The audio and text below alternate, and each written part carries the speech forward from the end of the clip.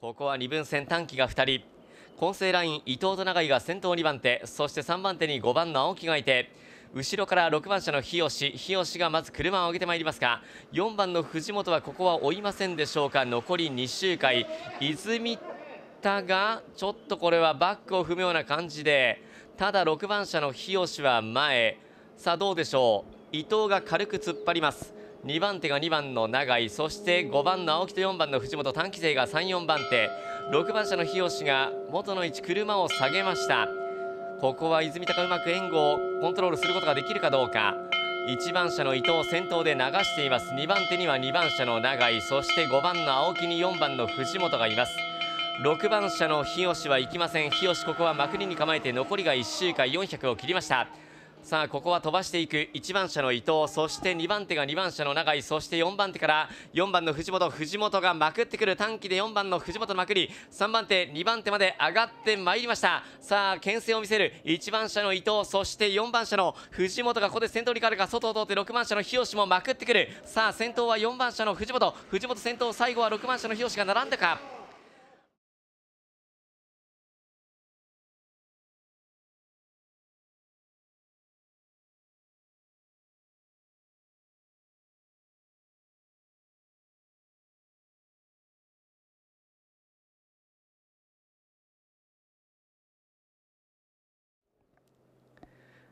3コーナーから4コーナーに向かいます。東勢はすんなり前段3者取ったんですけれども4番手をめぐって6番の川西と1番の南が位置を譲りませんでした。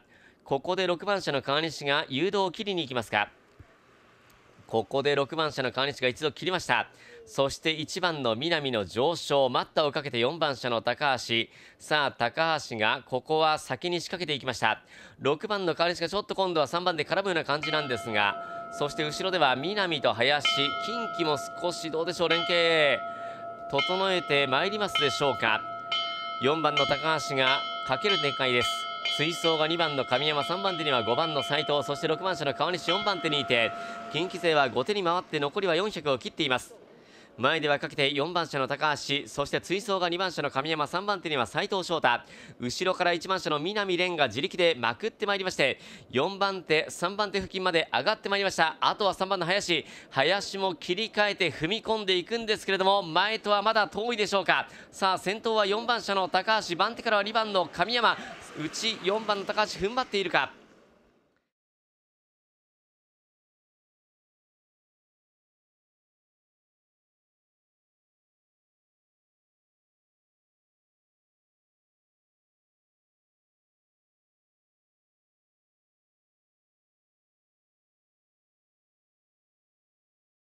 青番周回の3コーナーから4コーナーです。ご覧のように中段が並走となりました。南関東前受けはすんなり決まったんですが後手に回った3番の伊藤がこれを嫌って中段に上がってまいりました。ただ児玉もここは車を下げません。1番車の神尾が後ろを振り返って残りは2周回誘導は残っています。中段依然として並走児玉も下げない。伊藤もここは下げません。さあ4番手が並走このまま南関東勢神尾がスイスイかけてくるんでしょうか。2番の児玉コースが空きません。1番車の神尾先頭そして5番の浅沼に4番の小林がいて中段は伊藤2番の児玉がようやく車を下げるんですがもう1番の神尾は前でかけます。1番の神尾がかけて2番手が5番の浅野3番手には4番の小林です。南関東ペース6番手からここで2番車の児玉。さあ児玉が一気の巻き返しとなりました。6番車の柏村新平は離れています。さあ最終バックに突入。1番車の神尾外から2番車の児玉。この両者の力比べ。さあ2番の児玉ちょっと苦しくなったか。内は5番の浅沼がしのいでいる。さらには7番の鈴木が入ってきた。先頭1番車の神尾圭斗。神尾先頭で五輪2着7番の鈴木でしょうか。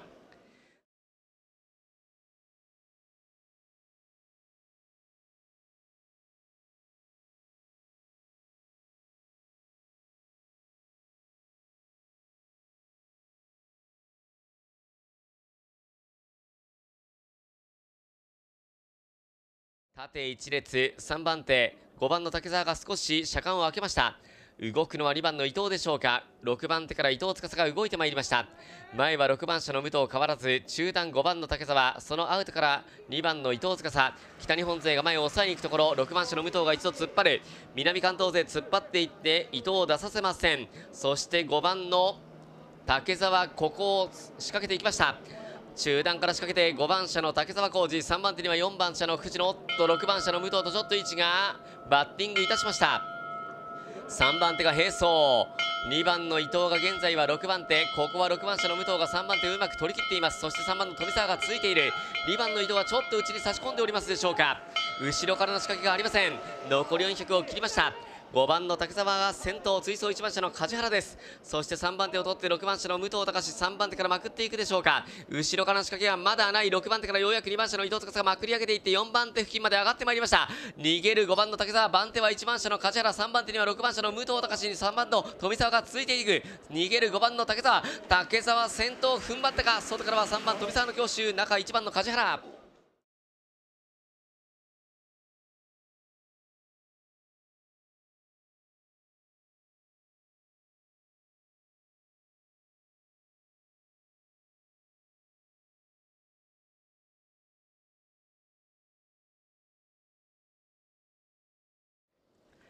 3コーナーから4コーナー1番車の荒川が人気の中心後ろから本間が動いていくか。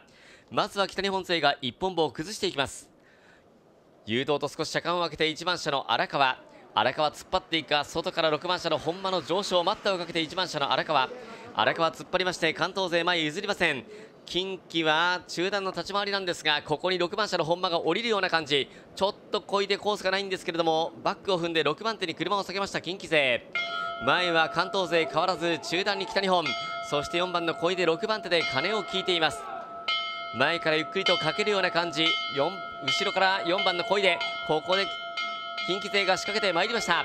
1番の荒川もペースを上げる。外から4番の小出のスピードがいいか。残り400前は荒川そして小出のもがき合い。そして7番の高さがちょっと離れて。2番の松本が3番手に降りて。ここで4番の小出が2番手に収まりました。さあ4番手7番の高瀬。この後ろには5番の関東がついている。近畿勢はいい展開になりましたか。逃げる1番の荒川追走が4番の小出深夜。粘る荒川迫る小出ですが荒川先頭で踏ん張りました。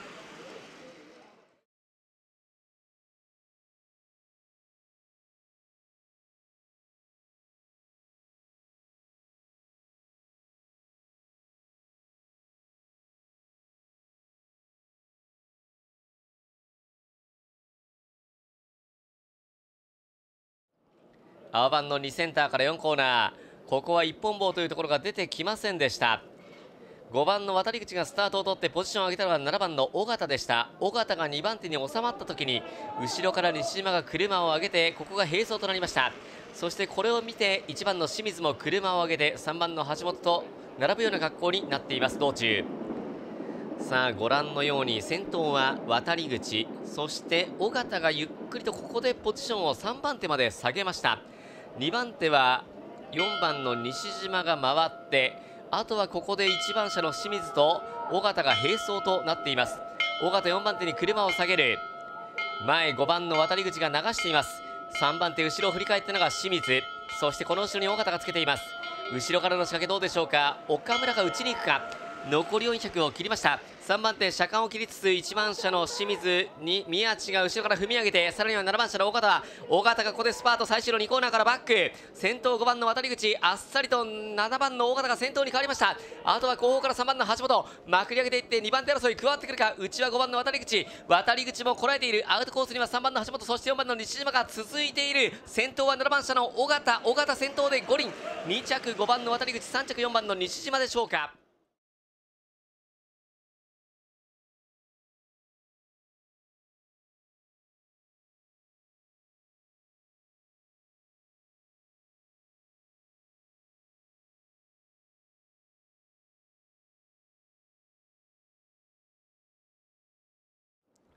体型は縦1列。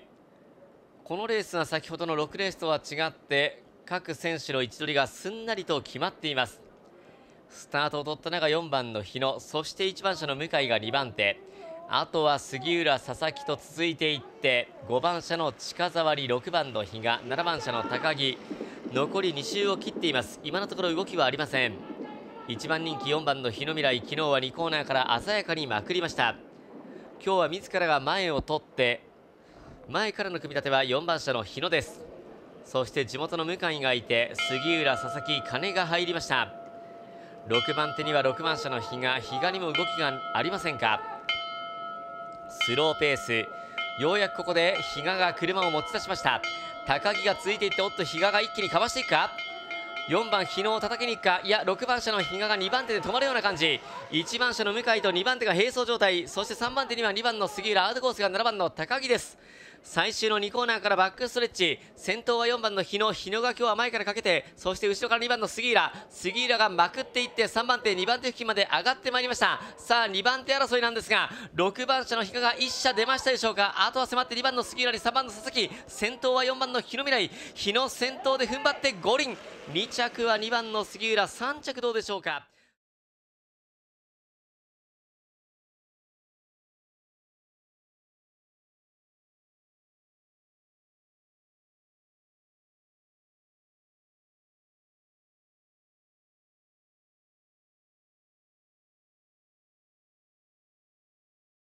体型縦一列6番手3番の牛田がちょっと前と車間を切っているか。前で待つのが中村光隆中段に1番の白石がいます。7番の吉松が短期戦。残り2周というところで後ろから牛田が上昇してまいりました。まずはゆっくりと牛田の上昇。前で待つのが2番車の中村。ただ牛田も無理はしません。ここは車を下げました。前は2番車の中村。そして3番手に1番車の白石で吉松が5番の臼井の位置に絡んでいます。ご覧のように3番の牛田の後ろが狙われました。吉松健二と5番の臼井。この両者で並走です。前は2番の中村が流すような感じ。そして3番の牛田は6番手。ここはどうでしょう？牛田が一気に巻き返してまいりますでしょうか？残り1周回。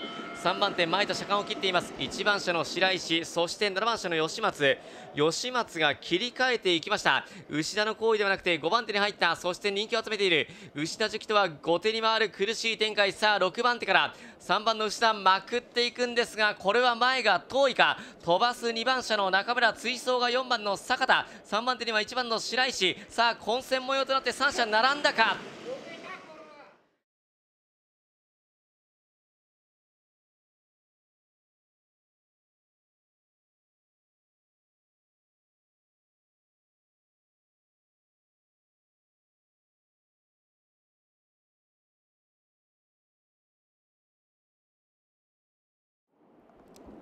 近畿が前段。中段に東の遠征ライン4番車の丸山短期で中部勢が後ろから倉田が動いてまいりました。4コーナーです。前受け1番車の中井祐介並びかけていって3番の倉田。倉田が前を抑えました。中井車を下げます。代わって小川が上がっていってただ1番車の中井も中段は譲らないという構えでしょうか。中段少しもつれるような感じか。6番車の小川に1番車の中井祐介。小川が叩きに行く。ジャンマイ6番車の小川が叩いて叩かれたのが倉田3番手。中井が現在は5番手でしんがりに4番の丸山です。逃げる6番車の小川中段を取って3番の倉田。内に行ったのは1番車の中井。中井が内に行きました。そして3番手をキープ。3番の倉田ちょっと意表をつかれましたでしょうか。バックを踏んで中部勢苦しくなりました。さあ2番手は2番の鎌田が車間を切っている逃げる6番車の小川そして2番手絶好が2番車の鎌田。3番手1番車の中井中井が足を止めてさあ後ろから3番の倉田幸輝はまくってくるか後ろからの仕掛けがほとんどありません。飛ばす6番の小川番手絶好が2番車の鎌田そして襲いかかって1番車の中井。中井最後は突っ込んで捕まえたでしょうか。内が2番の鎌田。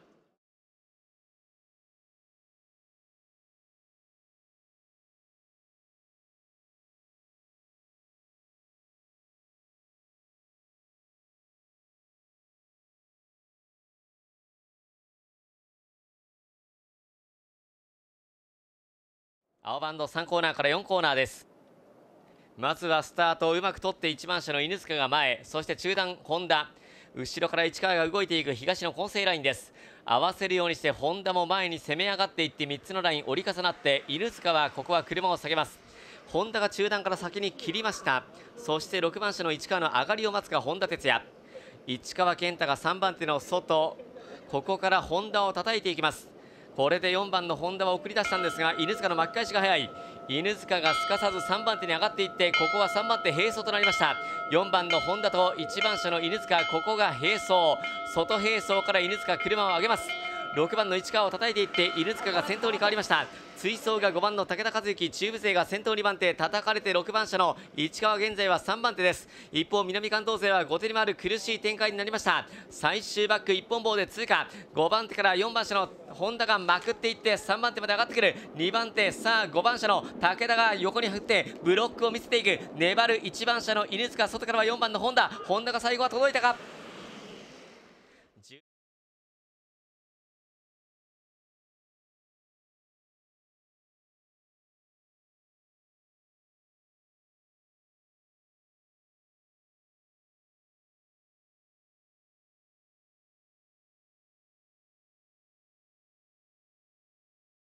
縦1列3コーナーから4コーナーに向かいます。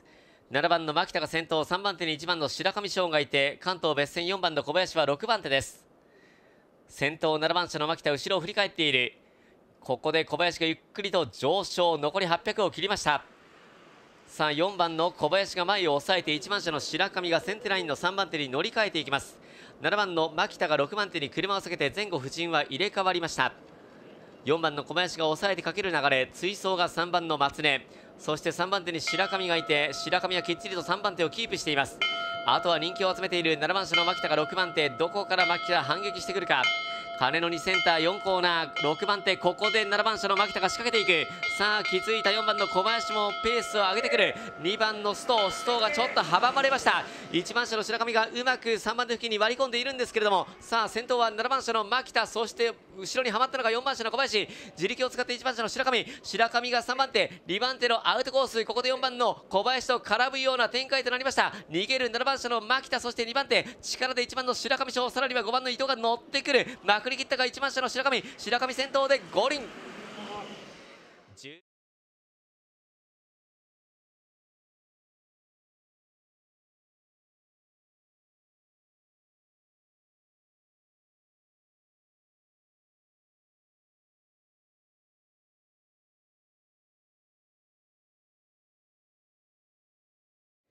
3コーナーから4コーナー。関東勢スタート合戦を制して4番車の荒木ラインが前から動いたのが平田です。